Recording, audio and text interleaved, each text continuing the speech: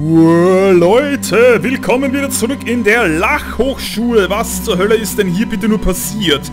Luke Miller scheint äh, doch tatsächlich hier zu sein und ja, seht ihr mal alleine dieses komische Foto hier oben an. Ist, keine Ahnung, was das darstellen soll, irgendwie so eine komische Grimasse. Nee, aber die ganzen Lehrer hier wurden scheinbar von Luke Miller in irgendwelche Lasergeist verwandelt oder in Jojo-Brüder und so. Und jetzt müssen wir halt gucken, dass wir hier vorankommen. Die Schule ist nämlich ziemlich groß, was wir auf der Karte gesehen haben. Und hier ist ein Tor, das zu ist. Hier konnte ich sperren und jetzt geht's hier mal to the left. So, oder, aha. Ey, voll von Dr. Mario diese Bazillen. Und ein Reagenzglas.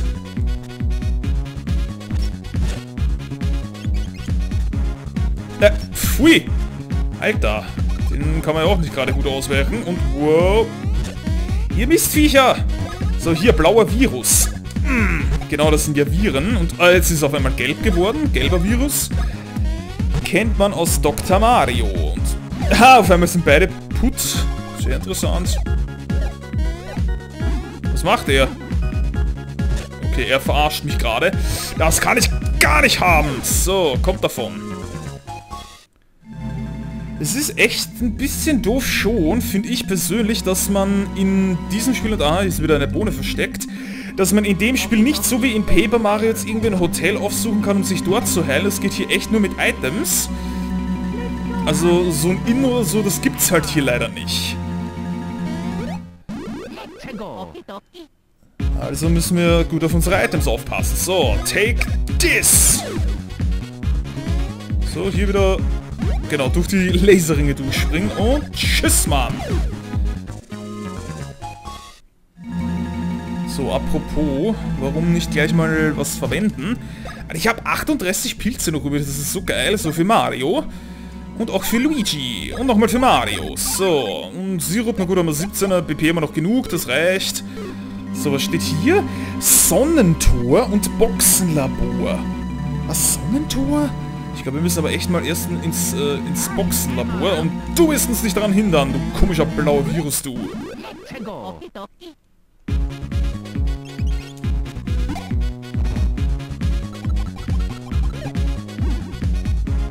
Okay, bei denen durchschaue ich nicht wirklich, was man bei diesem Reagenzgläser machen muss.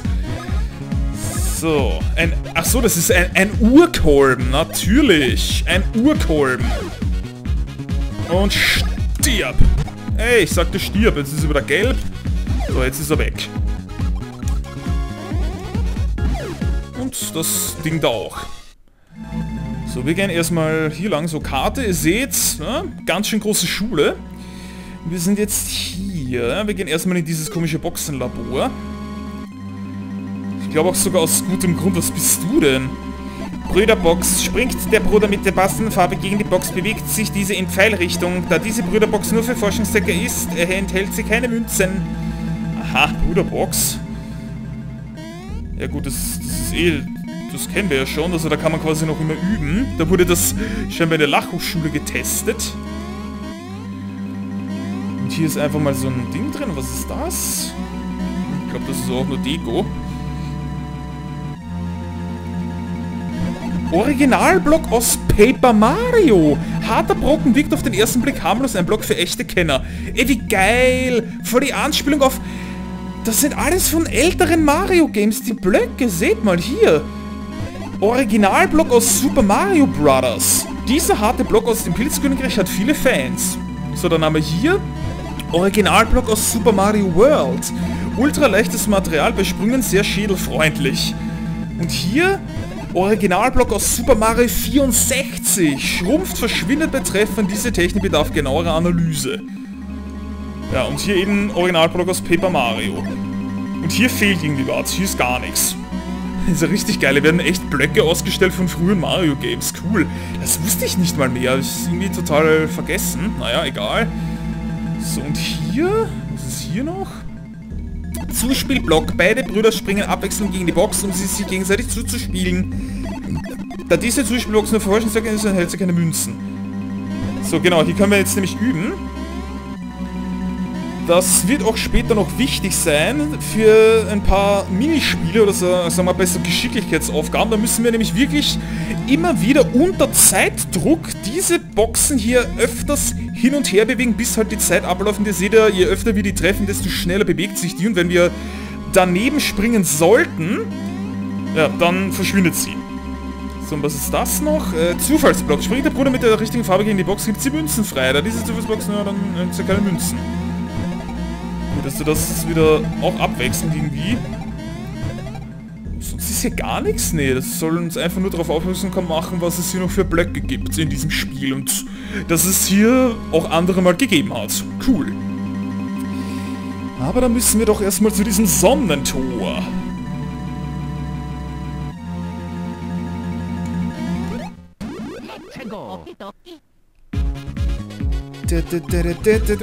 Oh mein Gott, was macht es schon wieder? Es ist gestorben. Oh mein Gott, das ist aber peinlich. So peinlich, Igitt, hat mich gebissen. Jetzt bin ich infiziert. Das ist ganz schön eklig, Mann. Du wirst mich sicher nicht besiegen. Und warum machen wir bei einem Gelb eigentlich so wenig Schaden? Ich verstehe das nicht. Igitt, er hat mich schon wieder gebissen. Jetzt reicht's aber, also halt dein Maul. Zack, so. Wir machen ganz schön viel Schaden und, uh, roter Pfeffer. Roter Pfeffer. Wir haben ja schon mal grünen Pfeffer bekommen. Moment, zeige ich euch kurz, was das eigentlich kann. So, erstmal ein Pilz für Mario. So, hier. Äh, äh, roter Pfeffer, mehr Angriff plus Gewicht. Und grüner Pfeffer, mehr Verteidigung minus Gewicht. Das heißt also, wenn wir einen roten Pfeffer essen, dann erhöht sich unsere Angriffskraft, aber wir sind auch schwerer. Das heißt, wir können schlechter springen und somit auch schlechter mit Sprüngen ausweichen. Und beim grünen Pfeffer eben haben wir mehr Verteidigung und weniger Gewicht, können wir also leichter springen.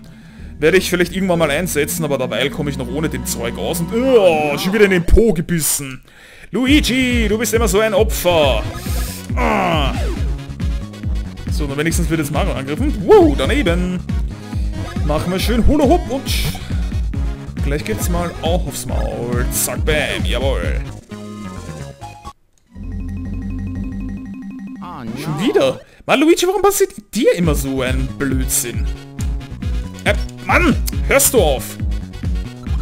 Nein, Luigi! Au, das tat weh. Achso, okay, gut, dann müssen wir uns mit dem Hammer verteidigen. Nicht gecheckt. So, das Ding ist schon mal futsch. Und du auch gleich. Zack. Die auch immer die Farbe wechseln. Oh mein Gott, er hat mich schon wieder gebissen. Mensch, ich krieg hier noch die Krätze, also stirb. So, gibt's ja nicht. Ah, Level Up für Luigi. Level 20. Oh yes. So. Mm, ähm, hm, wie wär's mal mit Badpunkten? Die sind doch auch wichtig. Für Rabatte später und dass wir öfters äh, Volltreffer landen. Und stopp. Ja, schade, nur plus 2. Ah, da wäre wär plus 5 wäre da möglich gewesen. Plus 5. Naja, ich habe ja nicht immer Glück. So, Karte nochmal. Äh, aha. Ja, das Sonnentor ist, glaube ich, da hinten. Aber was ist denn hier? Hier ist noch ein Nebenraum. Warum? Aha. Gut, seht mal, ja. Hier, Luigi, dann wieder Mario. Mario, Luigi. Luigi. Müssen wir immer wieder aufpassen, wie oft das angezeigt wird. Da können wir aber oft richtig viel Geld noch machen, wenn wir halt äh, richtig dagegen springen. Zwar so lange, bis es halt äh, nichts mehr gibt. So, jetzt ist weg. So, Moment, hier oben ist auch noch was. Noch ein paar Blöcke. So, eine Nuss und ein Pilz und eine Lachbohne. Oh, Moment, hier ist ja... Da ist ja noch was im Boden drin. So, hier. Schwupps, eine Grinsebohne. Und hier auch. Also ich kann nicht garantieren, dass ich es in diesem Let's Play wirklich schaffen werde, alle Bohnen zu finden. Also dass ich von jeder Art so viele habe, dass ich alle Säfte mindestens einmal herstellen kann. Und übrigens, das habe ich ja ganz vergessen, euch zu zeigen, was diese Säfte eigentlich genau bewirken. Ich Idiot. Sorry, sorry, sorry, es fällt mir jetzt gerade erst ein. Wir haben die im letzten Part zwar zubereitet, aber nicht getrunken. Also Professor Gitt hat ja davon nur gekostet. Die haben wir nämlich auch bei uns im Inventar natürlich. Und zwar auch unter Items. So, seht mal hier. Ahadia-Säfte ein. HP plus 4. Das heißt, diese Säfte sind in erster Linie dazu da, um unsere Attribute zu steigern. Hm, ja, dann werde ich dem mal Mario geben, dann hat er 53 Lebenspunkte. So, und Gumba Coladas erhöhen die Verteidigung um 4. Hm, das gebe ich Luigi. So, damit das mal 4 aufgeteilt ist. Ganz vergessen, dass ich die, die ja auch trinken, sonst bewirken die ja nichts. Wenn die nur so im Inventar sind, bringen die uns gar nichts. So. Also, sorry, sorry, dass ich das im letzten Part vergessen habe. Oh mein Gott, hier sind schon wieder viel zu viele Typis. Schaltzentrale und Sonnentor. Das Schaltzentrale ist gerade geschlossen.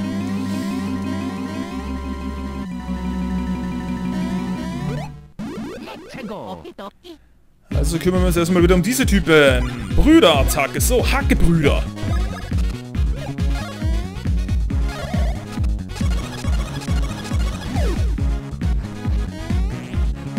Ja, fies. Du hast mich schon wieder voll verarscht, Mann. Ich hasse das. Das will ich überhaupt nicht. Ja, das auch nicht. Mensch, ich hasse das Ausweichen in diesem Spiel. Ich weiß nicht, das hat mir noch nie so gelegen. Ah, weil man da immer so viel aufpassen muss.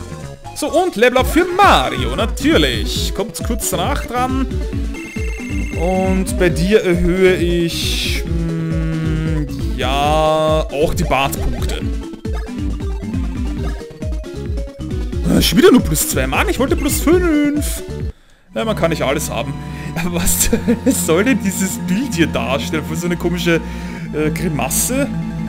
Sehr eigenartig. So, und ah! Oh, das war ja hier so ein blödes Rätsel, genau. Das war ja hier so ein doofes Rätsel.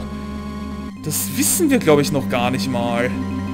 Wartet mal. Das müssen wir nämlich mit unseren Hämmern, bei diesem Starter müssen wir was machen. Aber das bringt ja noch nichts. Boah, mein Gott, was sind das denn für Viecher? Ein Chomp-Hund. Okay, auch ganz neu. Gab's auch in keinem anderen Spiel bisher. Aua, Rex. Vieh, blödes. Und, wow. Ah, okay, man muss... Gut, man muss auf die Farbe in ihrem Gesicht achten, wenn sie angreifen, entweder rot oder grün. So, es ist grün, also wieder Luigi, so. Böses Hundchen, mach Platz. Okay, gut, der ist jetzt irgendwie elektrisch geladen, den greife ich vielleicht jetzt lieber nicht an. Und du stirbst. So, ähm, ich springe lieber auf den da. Zack. So, rot oder grün, rot oder grün, ist mir ganz egal. Es ist grün schon wieder. Aua. Mistvieh. So, und was macht der da? Der greift natürlich auch an. Er greift... Was? Ah, okay, wenn er elektrisch geladen ist, dann ist die Farbe falsch irgendwie. Stimmt das nicht? So, er ist trotzdem tot, kann man auch drauf schwimmen, wenn er elektrisch geladen ist und zack. Aber da hat er wohl eine Fehlfunktion. Jetzt zum Beispiel auch wieder, das heißt, die Farbe ist anders. Wenn es grün ist, ist es eigentlich rot und ja, wir haben gewonnen. Oh, ein, ein Schulemblem, wir haben einen Orden bekommen, Leute. Ist ja geil, einfach mal ein Orden durch so einen gewöhnlichen Kampf. Was kann der bitte? Ähm, Kleidung? Äh, wo ist denn der jetzt? Ach hier, Schulemblem. Hat den Glanz der Lachhochschule. Boah, Angriff erhöht sich auf 82. Und bei Luigi auf 69 Brüderpunkte sind um 2. Ich gebe den lieber Luigi. Ist, glaube ich, besser als Landrato. So, das Schulemblem. Geil. Jetzt sind wir noch stärker. So. Ah, hier. Türcode für das Sonnentor. Oh mein Gott. Ja, das ist ein bisschen eigenartig jetzt. Aber da bin ich jetzt auch ganz ehrlich zu euch, das muss ich mir aufschreiben, weil das merke ich mir sonst nicht. Also, Türcode für das Sonnentor. Mal ganz kurz hier, Notizzettelchen habe ich eigentlich immer parat. Also in Blau und in Rot. Es ist eine ziemlich eigenartige Anordnung vor allem. Deswegen, ja. So, ich habe jetzt hier mal einen, einen blauen Stift und hm, hier noch einen roten irgendwie. Ja, hier habe ich noch einen roten. So, hier rot und blau. Äh, sorry, ich muss mir das aufschreiben, weil sonst ich, ich bin echt schlecht, was solche Gedächtnissachen betrifft. Bin ich eigentlich oft übelst vergesslich. So, das, ich muss es mir natürlich genau aufmalen. Also, machen wir hier erstmal so ein blaues Kästchen und ganz unten auch. Und daneben drei so untereinander in Rot, also so, so und so. In der Mitte noch eins und da für mich so. Und dann drumherum sind hier wieder dreimal blau. Also drüber, drunter und daneben. Und schräg drüber ist nochmal rot und auch rot. So. Und das zweite ist so. Okay, ähm... Ganz schnell machen, so rot, rot, rot und du bist tot oder so ein Quatsch hier, so. Dann hier daneben zwei blaue für mich. So, ihr seht das ja alles nicht, weil ich mir das selber auf dem Blatt Papier aufmale. So, hab's gleich. Rot, rot, rot und rot. So, okay, gut. Alles klar. Ähm, na gut. Ihr seht schon, hier sind jetzt ein paar Statuen, die grinsen und haben so einen roten Knopf auf der Brust, sag ich mal, so eine rote Kugel. Und die anderen, die trauriges Gesicht, die sind blau. Und... Aha. Ach so. Ah, nee. Ach, der erste Code war, glaube ich, der, wie es äh, normal ist. Und das heißt, der zweite ist eigentlich der, den ich wirklich machen muss. Das heißt, jetzt einfach mit dem Hammer hier draufhauen. Und zwar auf dich. So. Dann das ist eh richtig, das ist auch richtig. Das muss aber blau sein. Das muss wieder rot sein und das muss blau sein. Und die zwei müssen rot sein. Und die und die hier beide blau.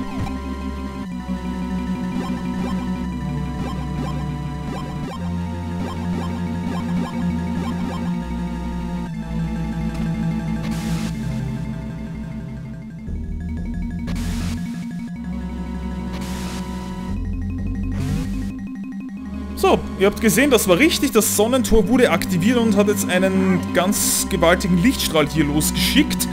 Und den müssen wir in der Schule jetzt mehrmals umlenken mit diesen Spiegeln. So. Ja, also der Spiegel, der schickt das hier rüber. Und der schickt es aber leider nicht weiter, weil der nicht schräg ist. Das heißt, wir müssen jetzt hier erstmal rauf in den Kontrollraum und den Spiegel da drin irgendwie drehen. Oh mein Gott, so viele Viren, ich will gar nicht. Die sollen mich bloß in Ruhe lassen. So, hier kommt ein bisschen extra Geld. So. Also irgendwann geht einem die Musik schon ein bisschen auf die Nerven. Ich mag die nicht so sehr, diese Gruselmucke. Aber soll euch verdeutlichen, dass hier was ganz Schreckliches passiert ist und dass hier überhaupt nichts zu lachen gibt. Wie oft gehen das hier noch hin und her? Ja, 20 Mal, bis ich es halt verpatze. So, Zwischenspeichern, warum eigentlich nicht? So, Lachhochschule. Korridor. You don't say. So, Stempel drauf, Level 20 sind wir schon, wunderbar. Richtig geil. Und, oh mein Gott, was ist denn das jetzt hier? Das war ein bisschen kompliziert. Habe ich noch in Erinnerung, ja, Moment. Also erstmal Mario klein machen. Und hier rein und zack. So, Tür geht auf. Hier geht's zu. Luigi. Und zack. So, jetzt geht das wieder zu.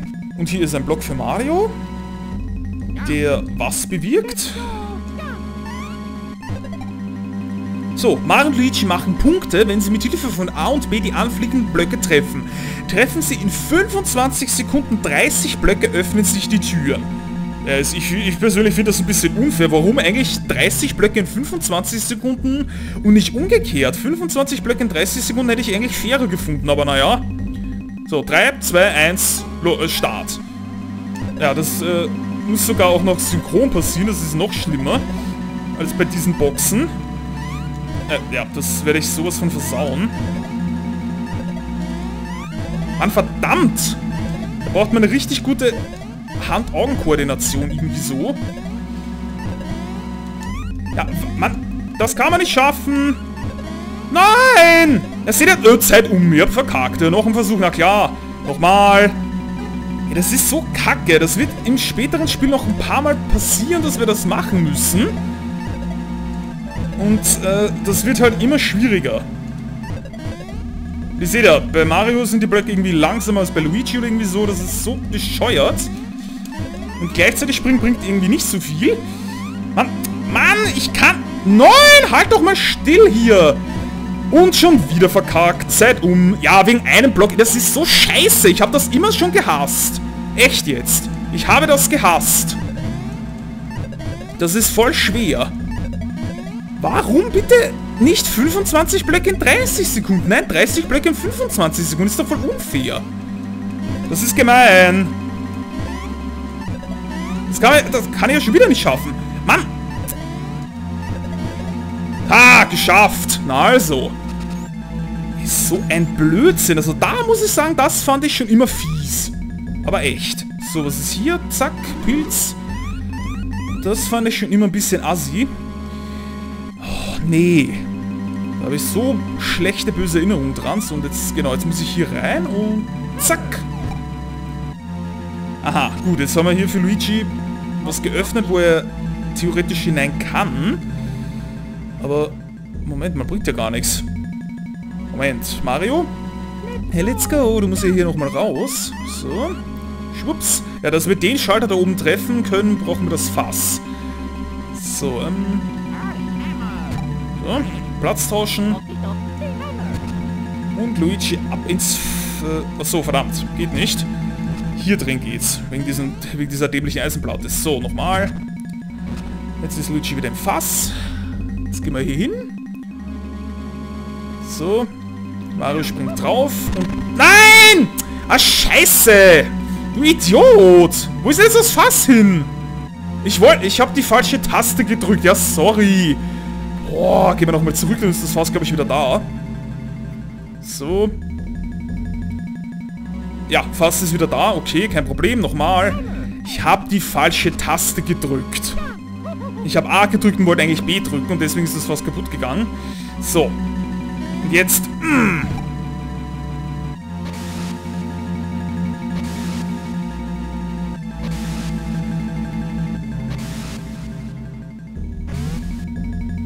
Na bitte, geht doch. Oh, schwere Geburt. Let's go.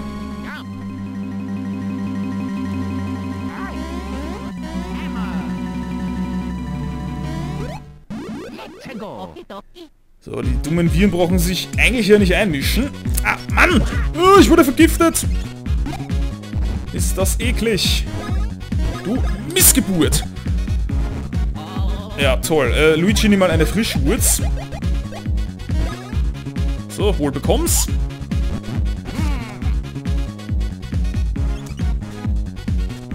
Ah, schon wieder. Mann, ey! Diese Drecksviecher. Ich hasse sie. Scheißviren. Die sind eh das allerletzte. Mm. Jetzt geht doch mal sterben. So. Ja, nochmal. Frischwurz. Du Vollhorst, du. Oder wir sind kurz zum Abkratzen. Mm. Haha. Oder auch nicht. So, kleinen Moment mal. Brauchen wir ganz schnell Hilfe. Pilz. So, schon besser. Ich hasse... Nein! Ey, ich wollte gerade sagen, ich hasse diese scheiß Viren. Fuck you. Ich will nicht. Nein, ich will nicht. Wir hauen ab. Komm, wir hauen ab.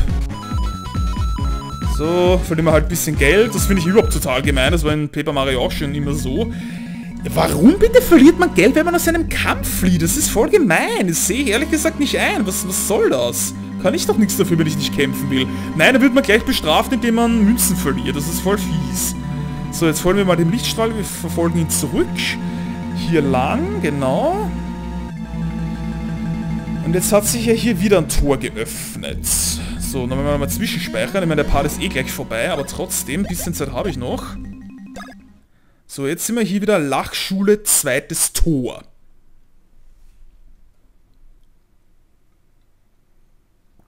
Genau. So, wo geht's jetzt hier lang? Ah, ja. Kurz Karte checken. Wir sind jetzt hier und wir müssen da links noch irgendwo hin. Eigentlich müssen wir ganz da nach hinten, aber da kommen wir noch nicht hin weil dieses Tor noch zu ist. So, Lachbohne, Pilz, äh, Pil äh, Superpilz sogar und noch ein Sirup. Und noch ein bisschen Geld.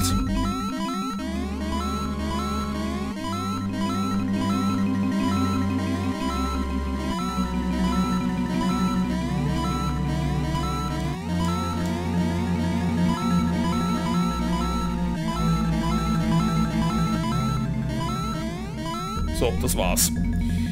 Okay, und was ist das denn jetzt hier? Ah, okay, wir müssen hier, glaube ich, wieder so ein Fass müssen wir hierher bringen. damit wir ähm, dieses Ding da zerstören können. Na, komm, spring.